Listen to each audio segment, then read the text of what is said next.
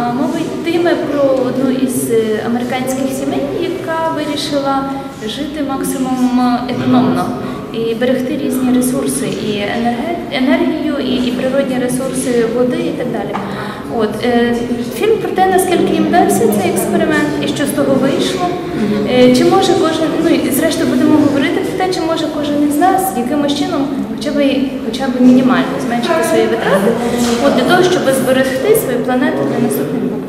Питання стоїть в тому, щоб кожен із нас подумав, глядач, так подумав і поділився своїми думками про цей фільм. Е, сьогодні не стояло завдання запросити якогось експерта, щоб він розповів про ці речі. Їх є достатньо в інтернеті.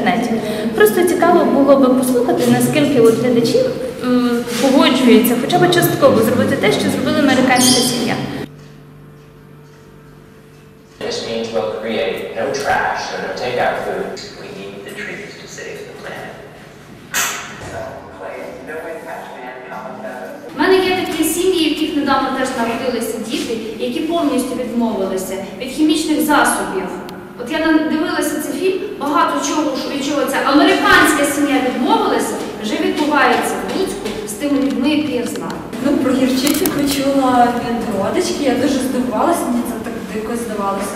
Але потім я зрозуміла, що наскільки ну, ці всі засоби для миття посуду вони хімічні, і вони ж, ну, по-перше, погано вимиваються з самого посуду.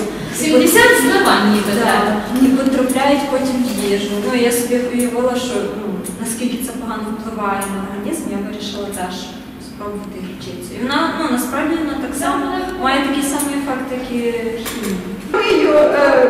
посуд е, ну, залишками, скажімо, муки від того, що я там щось роблю, залишається мука мукою, можу помити, помити содою, там, е, гірчицею, посуд. Моя дітка, якій вже 80 років, 70 з кустом, каже, ой, Оля, а я вперше, вперше чую, що так можна помити.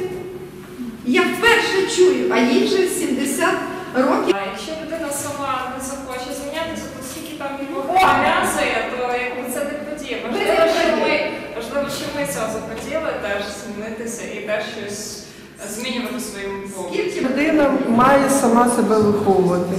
Кожна людина сама над собою має працювати і зміни себе, і зміниться світ навколо тебе.